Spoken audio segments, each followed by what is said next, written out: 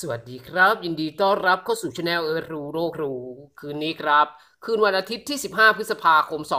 2565 จะมีการแข่งขันศึกฟุตบอลพรีเมียร์ลีกอังกฤษฤดูกาล 2021 ถึง 2022 เป็นแมตช์การแข่งขันกันระหว่างวูฟแฮมตัน จะพบกับนอริ c ซิตี้ในเวลา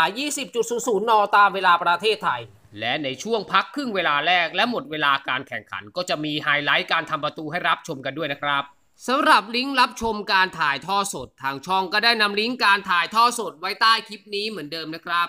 สำหรับเพื่อนๆที่ยังเข้าลิงก์กันไม่เป็น ทางด้านท้ายคลิปนี้ก็จะมีคำแนะนำวิธีเข้าลิงก์รับชมให้ทำตามนะครับ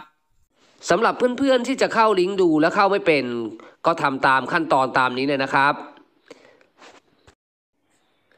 จากหน้าจอมือถือของคุณคุณจะเห็นเลยครับหน้าใต้คลิป มันจะมีชื่อคลิปอยู่นะครับ ให้คุณมองทางด้านขวามือของชื่อคลิป มันจะมีเครื่องหมายชี้ลงนะครับ เป็นลูกศรสามเหลี่ยม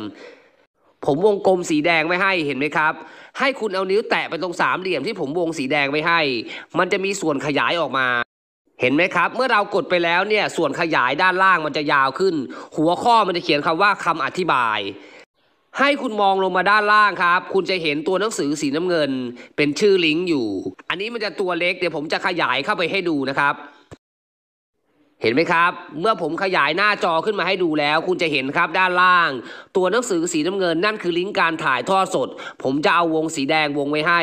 คุณก็เพียงเอานิ้วไปแตะตัวหนังสือสีน้ำเงินนั้น เลือกสักลิงก์ใดลิงก์หนึ่งถ้ามันมีลิงก์เดียวก็อันนี้ก็มีลิงก์เดียวคุณก็เลือกอันเดียว ถ้ามีหลายลิงก์คุณก็เลือกลิงก์ใดลิงก์หนึ่งนะครับเสร็จเรียบร้อยแล้วมันจะพาคุณเข้าไปสู่การถ่ายทอดสดนะครับ